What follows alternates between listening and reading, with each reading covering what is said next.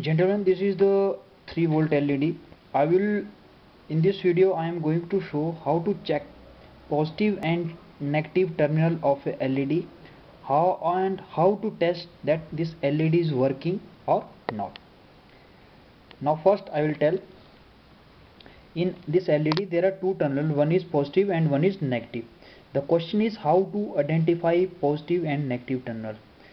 Then for that you just take a multimeter connect positive to uh, this positive terminal and negative to the common. And take the two leads of a multimeter. And first test. Check this is positive and this is negative. If positive of digital uh, voltmeter is or digital multimeter is connected to positive LED and negative of volt uh, digital voltmeter is connected to negative of LED this LED will glow now we'll test. So this is not glowing. Means we are connected opposite or this LED is not working. Now take the reverse. Now connect the, in this way.